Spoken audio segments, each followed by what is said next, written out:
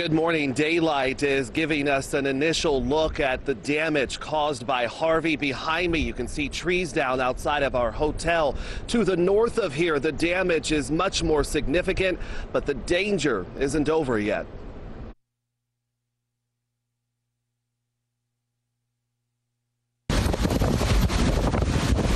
Bands of torrential rain and high winds pounded the Texas Gulf Coast all night. Harvey first made landfall about 30 miles northeast of Corpus Christi as a Category 4 hurricane, the most intense storm to hit the U.S. in more than a decade. 125 mile per hour winds took aim at the town of Rockport. Part of the high school caved in, and this hotel is missing part of its third floor. Nearby, wind whipped up flames, destroyed three homes. The monster storm is weakening, but tornadoes are possible and up to three feet of rain. Already more than 200,000 people are without power. It's prompted a boil water advisory here in Corpus Christi. Anyone who stayed behind has been told to boil their water before they consume it.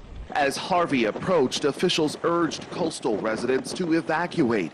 Many boarded buses and headed inland. Texas Governor Greg Abbott visited a shelter in San Antonio. The most important thing that you can do is to safeguard your own life.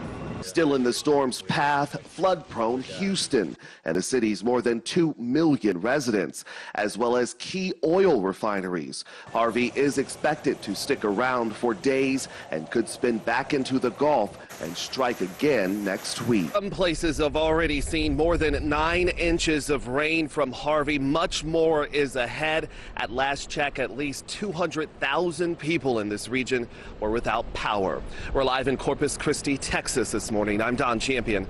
Now back to you.